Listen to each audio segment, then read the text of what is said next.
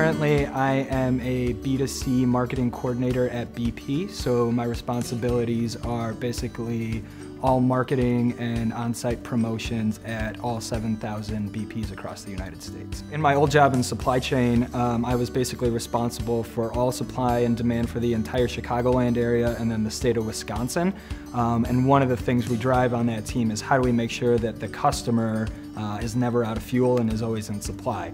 Every day we've got consumers coming and going, so whether it's credit card information, information about different de demographics of the markets we're in, um, it's really about using all that information to say how do we grow our business.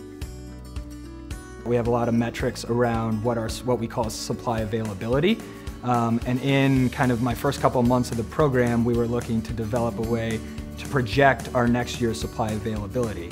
Um, through the things I had learned in the program, even in the first couple of months, I was able to say, hey, I've got some ideas about how we, we can use the data we already have and use it to project what we might be doing going forward.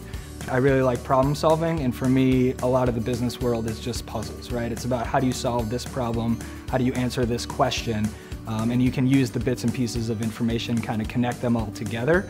Um, and for me, analytics is huge on that, right? Because it's about finding those insights. It's about using the data to drive actual decision making.